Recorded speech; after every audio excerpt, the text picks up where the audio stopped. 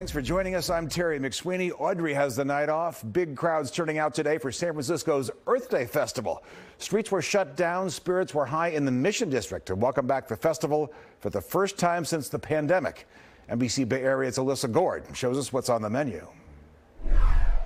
Well, the Earth Day Festival is finally back here in the Mission, and this year, all the food vendors you see up and down the street are vegan.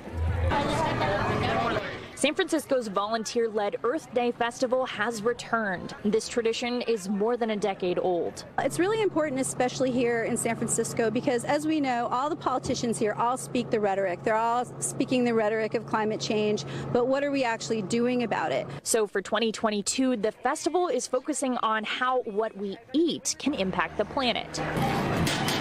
Organizers are hoping to show off the benefits of going plant based, even if it's just for one meal. Gabriel Ventura is making vegan pupusas to offer a taste of El Salvador, where he's from. It's beautiful.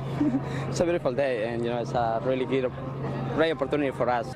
The youngest people at the festival are excited about the food, but they also say they're anxious about the planet. When I think about climate change, I feel like um, this is something that needs a lot of work.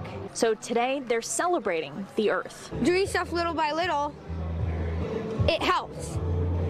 All the little things build up into something big. And urging grown-ups to protect it for years to come. For Earth Day, um, I want you guys to not pollute the ocean and really take care of your Earth because Mother Earth is the only planet we got right now. In San Francisco, Alyssa Goard, NBC Bay Area News.